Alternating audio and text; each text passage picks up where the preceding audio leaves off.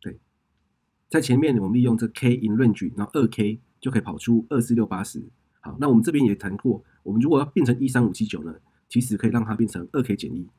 但其实这个写法并不是唯一的，你也可以写成二 k 加一。那要写的二 k 加一怎样？这个逐标要改变。啊，我们这边其实你是今天如果是从零开始，我们在这执行，哎，这个东西呢也会变成一三五七九。当然呢，你还可以写成怎样呢？例如说，我可我也可以把它改写成这个加三，对，好，那二 k 加三，你今天要跑出一三五七九，一开始的 k 就是怎样？k 就带这个负一，好，那负一的时候，这个这边第一项就会是一，好，那这里的话呢，这个最后一项的话要是九，那最后一项九的时候，这里是放四，好，那这里放四的时候最大是三，三乘二加三这边也会是九，所以这一般是跟这个顺序呢，事实上是要相互做一些这个搭配的，然后在对，然后这边要稍微补充一下，就是说，通常呢。如果是零开头的时候，我们这个零呢，实际上是可以省略不写的。所以这个东西把零拿掉呢，它还会得到一样的这个效果。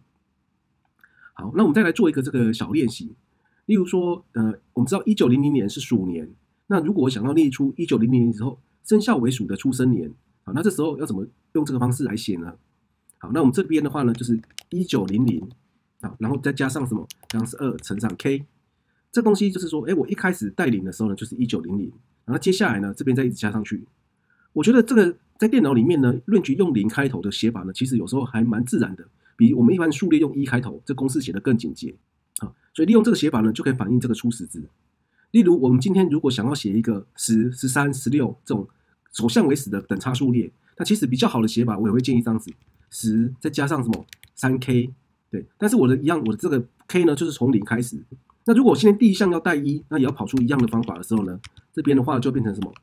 那这边就要改成七加上三 k，好，这样子 v 三跟 v 四呢，它才能够跑出一样的这个结果。在做数列的操作呢，这逐标跟一般式的对应是相当重要的。当然，很多人就觉得，哎，这边要转换很麻烦，所以是不是可以在论据里面呢，自动让它变成等差的方式？那这个就是下一节想要讲的论据呢，它其实可以摆第三个参数。